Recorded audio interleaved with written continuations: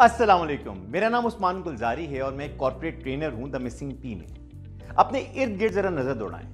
अरे देखें तो आपको जितनी भी बेहतरीन चीज़ें नज़र आ रही हैं, ये दो दफ़ा बनी। जिस स्क्रीन पे अभी आप मुझे देख रहे हैं, ये भी दो दफ़ा बनी। पहले यहाँ पे और फिर रियलिटी में। 21 मार्च 2021 को हम एक ड्रीम पाकिस्तान कॉन्फ्रेंस लेके आ रहे हैं, जिसमें बड़े ज़बरदस्त स्पीकर्स की नोट प्रेजेंटर्स आपके साथ वो ख्याल शेयर करेंगे कि किस तरह से हम अपने मुल्क को और अपनी ज़िंदगी को बेहतर बना सकते क्योंकि अगर हमने सामने बज़ाहिर बदलाव लेके आना है तो उसकी शुरुआत यहाँ से होगी।